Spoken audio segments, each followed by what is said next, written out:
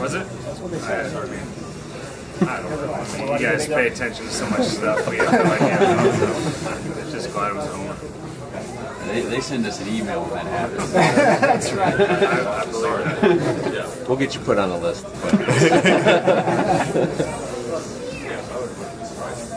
Been like uh, starting to win the series now, picking it up win wise. This is obviously what you expect. Yeah, I mean, said it. I feel like I've been saying for a while. I mean, we got off to such a bad start, but um, you know, this last month, five six weeks, we've been playing a lot better.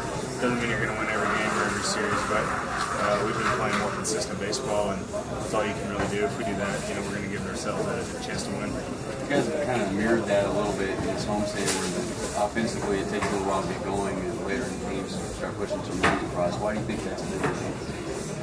I mean, their starters did a good job. You gotta, you gotta give them credit. Both these guys, yesterday and today, threw well. You know, if you're talking about this whole homestand, the Braves guys threw really well too. They got a good staff.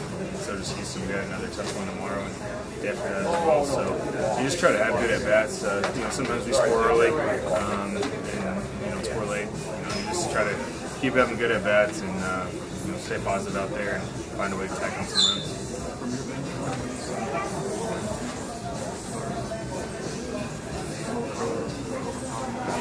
dude, he just, you know, he just mixes it up so well. He hits his spots, keeps guys off balance. Um, it's just tough in the hitter. You never know what to expect. There's very few patterns, and um, you know, he just keeps the ball down, keeps it on the corners, and just does a good job.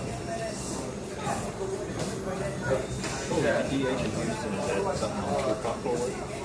Sure. Sure, why not? Whatever they want me to do, I don't care. Whatever they want. Your thoughts about being in second place uh, on the All Star?